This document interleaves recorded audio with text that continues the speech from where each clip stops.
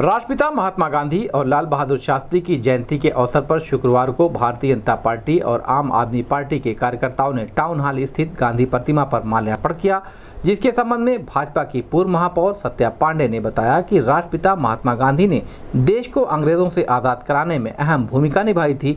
वह हमेशा सत्य के मार्गों पर चलते रहे, उन्होंने कभी भी हिंसा का साथ नहीं दिया, जिसके लिए पूरा देश उनको याद करता है। और लाल बहादुर शास्त्री, जो कि देश के प्रधानमंत्री भी रह चुके हैं। वह अत्यंत सरल स्वभाव व व्यक्ति के धनी थे। उन्होंने किसानों के हित में अनेकों कार्य किए और किसानों को नारा, जय जवान, जय किसान दिया।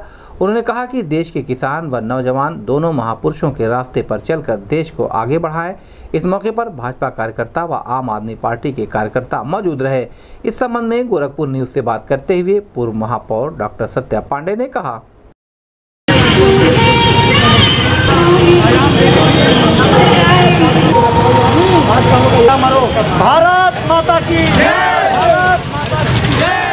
Gracias.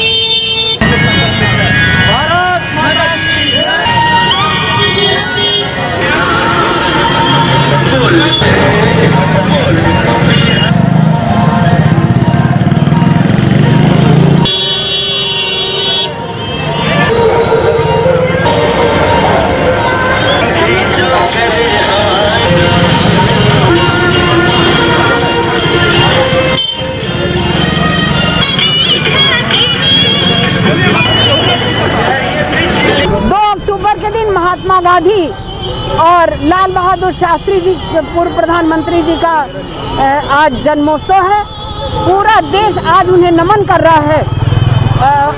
राष्ट्रपिता महात्मा गांधी जी ने अहिंसा का जो एक बुलबुल फूका था और देश की आज़ादी में अपनी महती भूमिका निभाए और और किसानों के लिए जो हमारी केंद्र की सरकार और प्रदेश की सरकार उनके हित के लिए करे। वही जय जवान, जय किसान का नारा देके अत्यंत सरल व्यक्तित्व के धनी लाल बहादुर शास्त्री जी को जिन्होंने नारा दिया, मैं उन्हें भी शत नमन करती हूँ।